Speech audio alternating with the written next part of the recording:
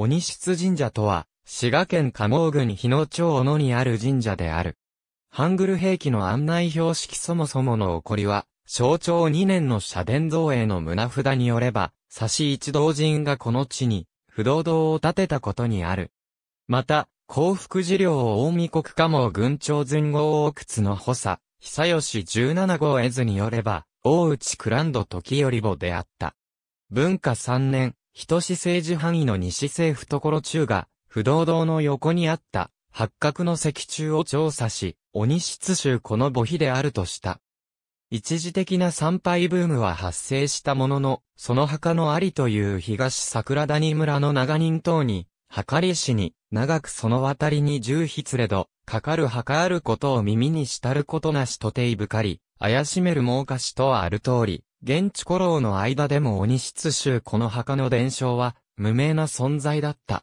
明治時代に入り、神仏分離令によって、不動堂は、西宮神社と改名し、かすぐるとっち命を祭神とした。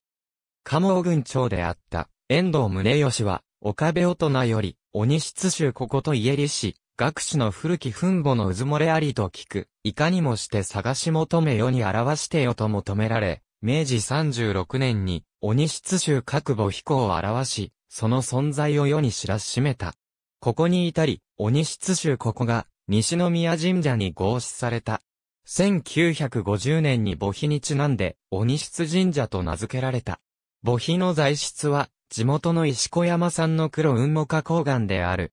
鬼室宗ここは7世紀の百済からの渡来人で、大見国家網郡に移住したと、日本書紀の記録がある人物である。父の鬼室福神が、大韓民国不与郡鬼山面にある恩山、別神道に祀られていることから、日野町と鬼山面は1990年に姉妹都市協定を結び、交流活動が行われている。そのため、神社の案内板などには韓国語が併記されている。鬼室宗各墓碑の心眼について、国地安尾、大宮里渡来人下らき室氏を中心として、小山閣出版、1996では、以下の理由から、偽名の蓋然性が高いとしている。古代の墓碑、墓誌名に見える死亡記事の表記を見ると、没、陰の用例がないこと古代の墓碑、墓誌名には、その造流関係者に、諸孫という表記が見当たらないこと、首長三年、母、子という、江藤祭事で横に割り書きした、記念名の記載型は、天領9年のものが最古であるが、一般的になるのは、鎌倉時代であること。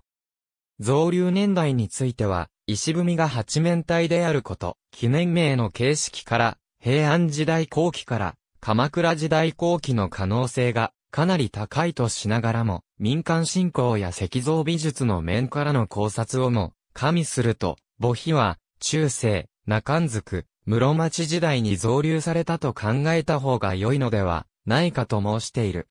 大安寺市在録抜き書きには、現在の滋賀県安市大篠原に、鬼室宗各墓があったことが記されている。財団法人滋賀文化財保護協会は、仮に100歩譲って、墓碑や、この記述が、作為的に捏造されたものだとしても鬼室宗ここと、大技、斧を結びつける、何かがあったからだと考えるべきである。それが単なる伝承であろうとも良いわけで、鬼室宗ここを祭神とした鬼室神社が、日野町大技小野にあるという事実だけで十分である。この事実によって、大官民国鬼山面と国際交流が成立したのであり、母碑の審議に関わらず今後も、両国のさらなる信仰を深めてゆくべきであると考えるとしている。ありがとうございます。